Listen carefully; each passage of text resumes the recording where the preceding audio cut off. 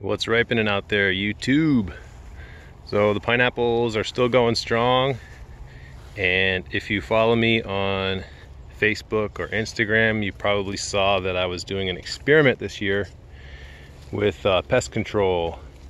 And the experiment was using this Plectranthus plant that's really kind of odorific. It smells really similar to the rodent repellent sachets that you can get at Home Depot. And so I was actually putting a cutting underneath each one of these to see if it helped keep the rodents away from my beautiful little pineapples.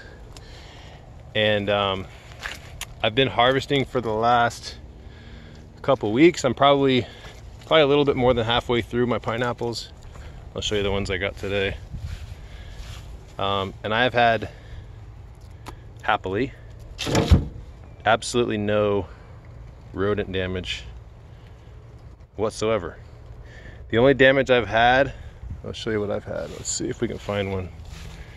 I've had a couple that had like pock marks on the top of the fruit and it's either from sunburn or from birds uh, pecking on them. So I've had a couple like that. Only see if I can find one. Um,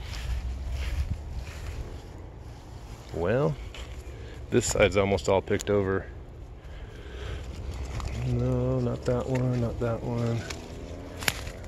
Well, anyway, I've had a couple that had like pock marks where it might have been birds, but uh, nothing from the rodents, which is surprising because I'm getting a fair amount of rodent pressure within my mango grove. So they're chewing up mangoes that aren't ripe yet. And, uh, but they're not coming right over here to these delicious smelling pineapples. So using that, that odorific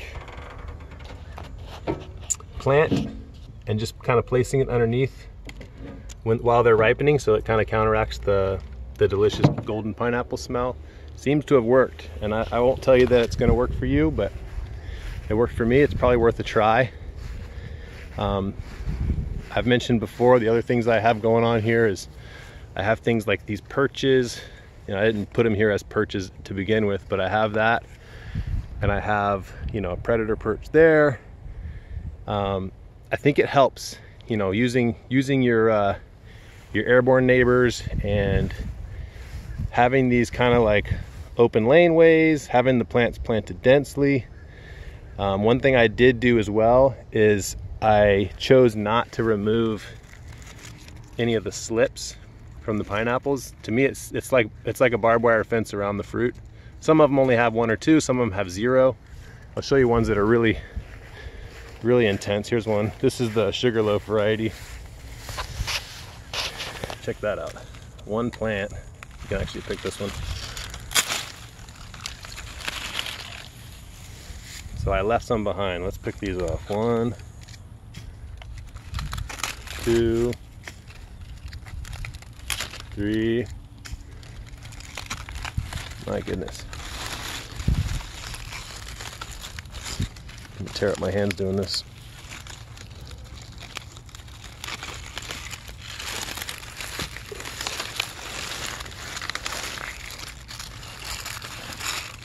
Mm. Doesn't want to let go. Four, five, six, seven, eight, nine, ten, eleven, twelve, thirteen, fourteen, fifteen, sixteen, seventeen. 18 18 slips for one pineapple.